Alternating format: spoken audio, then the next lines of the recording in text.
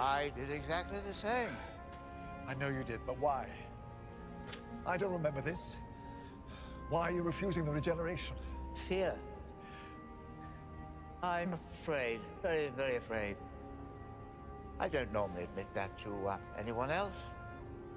Don't worry, technically you still haven't. Why are you?